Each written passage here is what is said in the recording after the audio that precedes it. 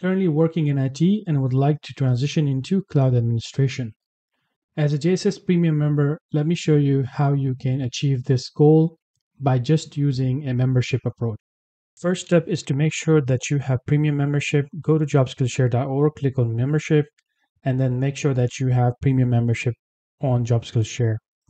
Once you click on the dashboard or log into your portal, on the left side, you will click on roadmaps. Now, assuming that you already know that this is an advanced career, if you are doing this for the first time and you're new to our platform, make sure to look into modern IT support career and then also transitioning skills roadmap before you attempt to learn cloud administration. This is basically requirement, a prerequisite before you start cloud administration. As you can see, we have mentioned this that this is advanced roadmap.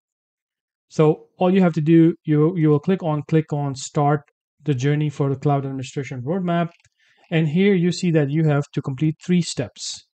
Basically, the step one is a combination of Azure and AWS, mostly targeting Azure in the beginning, and then you're going to learn some technical skills via a video course for Azure, and then also you're going to learn a lot about AWS at the third step.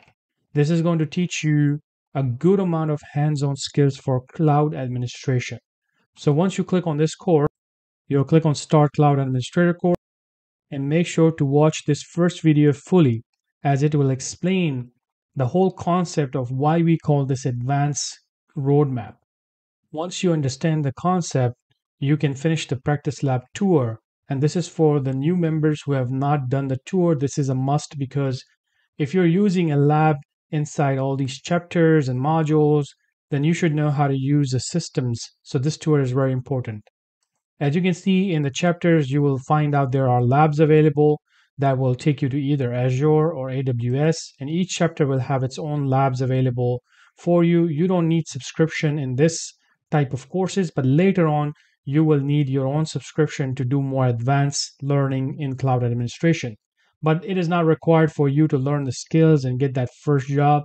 I think most of our courses are highly lab oriented and have a lot of theory as well. So you should be good with just the access that you have as a premium member to uh, learn the skills for cloud administration.